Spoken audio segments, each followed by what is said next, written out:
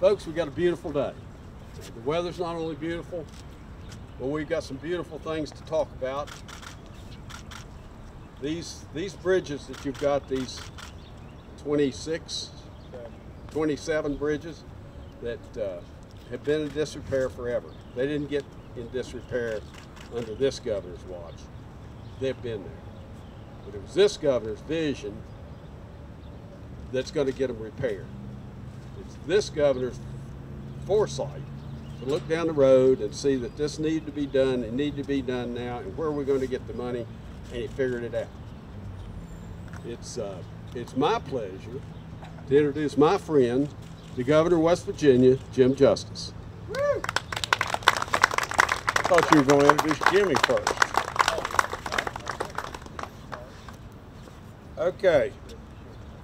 For those of you who don't know who just spoke, that's our Secretary of Transportation, that's Byrd White. And Jimmy Wriston's right here. And one of our great senators is right there and everything. and uh, and so let me just say this. This is a little complicated from the standpoint of, you know, we went through a bid process and the bids came in way, way, way over what we anticipated the bids to come in on, on day one. And I think they came in, if I remember correctly, at 275 million. And we really thought that they should come in at 190, is that about in about the 190 range, I think. So we're kind of blown away. And then and then immediately the press says, well, they have underestimated all throughout all of these bids, and therefore the roads to prosperity promises of all the things that we promised we were going to be able to do, we're not going to be able to do it. So we went back to the drawing board. Jimmy Wriston, who is our deputy of, of uh, deputy secretary of transportation, and our highways commissioner, along with Byrd and along with many other good people, went back to the drawing board. We didn't accept that $275 million bid, and we went back to the drawing board and we tweaked and we worked at it as diligently as we possibly could, as we have on other bids. Now, since that time, some other bids have come in, and and some of them come in right on target. Some of them come in a little bit to our favor, and some of them a little bit not so uh, to our favor. Now we have a new bid, and we had how many people bid with her? Five people bid on this project of 27 bridges. There's probably people right in this area that probably thought, well, seeing as how the bid came in so high and they rejected the bid, our bridges are never going to be fixed. And we absolutely knew everything to the contrary of that, but it was still the scuttlebutt for the moment.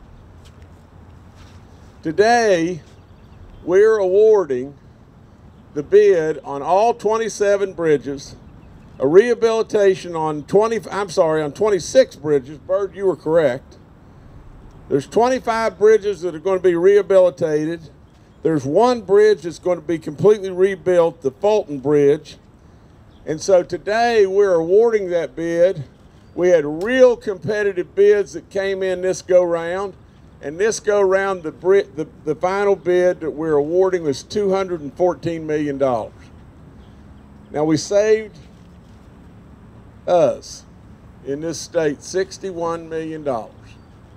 And the other thing that's really neat about this is now We've gone through, with the help of these great people, over and over and over, all the projects that we, that we promised, that were promoted, that were on the website, and every single project we can now say without any question whatsoever, they're all going to be done.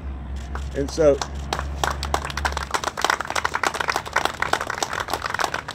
so I, I couldn't be happier and uh, we're pouring money into our secondary roads and we're trying to do anything and everything we can to get them up to speed and we're buying equipment you know so our people our great highway people will be able to do the jobs and uh, and so at the end of the day there's no way in the world i can be happier our state's moving. There's still lots and lots to do. There's still lots and lots of people to help. But at the same time, when you get announced first, first, first in everything in West Virginia, of all places, you got to be that gum proud. And so nobody's going to take that away from me. And uh, I'd like to introduce you to the successful bidder if if Mr. Swank could come here uh, and and I, I and Andrew. Okay, this is Andrew Swank, and they were the the uh, the winning bidder at 214 million dollars, and it's Swank Construction Company, and they're going to do us a great job. And he just told me he thanked me, but he said he's going to do great, and uh, and I know he will. And Ryan, please come. You come up here with us too. This is our great senator. Of course, everybody here knows knows this young man, and, and so so. Uh, uh, nevertheless, I again thank you, and and I guess unless unless Jimmy wants to tell us maybe an update on the suspension bridge, we're working on that. We're looking to see you know where we can find some monies and everything. But Jimmy, you can maybe give us a better update on that. Yes, I can. Uh, we we actually have the uh, rehabilitation project underway and have had for some time. Of course, you you know better than I do. This is a historic landmark in the background back here. It takes a little time to get through permissions with the resource agencies to be able to work on this bridge. We uh, we had an incident up here a little while back, and uh, the bridge suffered a little damage. Uh, had had some traffic on it that wasn't supposed to be there. So we're uh, we, we rushed out and uh, did an inspection. We've got that inspection report back. Uh, we've, we've evaluated it. Now we're, uh, we've scheduled meetings with those resource agencies so that they can let us know what we can and can't do to prevent any more damage to the bridge while we're uh, completing the process to get through the uh, SHPO and environmental process to get our project going. We have the plans probably about 90% done for the, for the major rehab project, and we think that'll probably be around 2021, uh, maybe a little sooner, uh, depending on uh, depending on what the resource agencies tell us. So that that's where we are there. Again, I, I can't I can't say this enough times. We're on it, and our people are on it, and we're making incredible progress in highways and everything, and things that have have not been seen forever and a day. Our roads, our bridges got in this shape over decades of neglect, decades of being 50th. In all honesty, that's the problem. When you don't have any money, you can't fix anything. We were decades of dead last 50th and feeding our people just garbage. That's all there is to it. You see, I'll promise you this you got a lot of people that are really working now, and you got great people in the legislature that are working, but you got a governor that's dead after it. And I don't want anything. I'm not a politician. I'm not seeking the next office or anything. I don't want anything. I absolutely just want one thing. I want your love, and I want to get something done. And so that's what I do. And that's what I'm after every time. And so in this situation, as soon as we get this thing going, we want to move on and get something else going. We don't want to sit and, and uh, lean on our laurels. I will tell you this, you know, uh, I, I, you know, you heard that wonderful goose just honk, and uh, and let me tell you this. You see, I really believe that the good Lord is in our lives all the time. All the time. Everything in our lives. Now, let me just tell you something that is just as true as it can be. First of all, my dad died in June of 1993.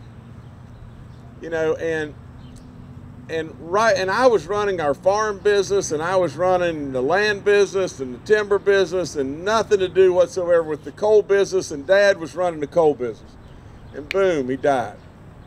Well, in 1970 or 71, the Ohio River Barge Company, which was owned by Eastern Gas and Fuel, dedicated a boat in my dad's honor. They built the boat. We went to New Orleans. I said the prayer for the boat. My mom broke the bottle of champagne and off the boat went. I saw the boat one other time in my life.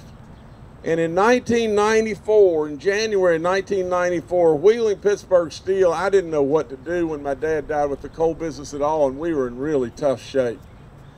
And Wheeling Pitt decided they were going to buy some coal from us And it was so important, it was unbelievable. I had only seen the boat one time in my life, and I flew into the Wheeling Airport, you know, in a charter plane because I had to get there that day. My little sport coat on, I was skinny, believe it or not, at the time, and the wind would just cut you in two, and the snow blowing sideways like crazy. Well, I scooted to a, a halt. I got out on the tarmac. I got in a cab, and down the hill I went. Mm. And we got to the bottom of the hill. We turned left, and when we turned left, right out in the river, it looked as close to me as these cameras with my dad's boat. Now we got to business and we took off and everything. But the other thing that I was telling you about the, the wonderful goose was not long after that I was on just floating down the James River. And again, I believe that the good Lord is here. And you know, the definition of coincidence is an everyday occurrence in which the good Lord chooses to remain anonymous. That's how I see it. We are blessed so much in every day. We are blessed today to be able to have the money. That's probably him tooting a horn, you know. But we're, you know, to have the money to be able to do this wonderful bridge bridges project. But now think about this. I'm floating down the river. This happened probably, I don't know, two months after my dad died. And I was floating down the river bass fishing, and all of a sudden a goose, of all things, came right up to the boat. And it wouldn't leave. It swam right up to our boat. Somebody probably, maybe, had been feeding it, but it just kept going around and around and around the boat. Finally, I got in our car to leave after we go, and it just flew around and around and around my vehicle. And you may think I'm making that up. I'm not making it up. And so when I just said, you know, I'm all about just getting something done, that's what my dad would have taught me to do. And in some way, somehow, that goose honked at us. And so I appreciate the goose honking, even if it wasn't on key, you know, but, uh, but I, I mean it when I tell you that I love you. And uh, I'm really proud of all the things that we're doing and proud of these great people that are going to work on this in the back. And I love your hard hats and I love your hard work that you put in every day. I can't thank all these people enough. You have an incredible senator from this area. You know, you just have all kinds of good stuff going on here. It's a wonderful, beautiful town, and uh, all I can say is God bless and thank you so much for having me.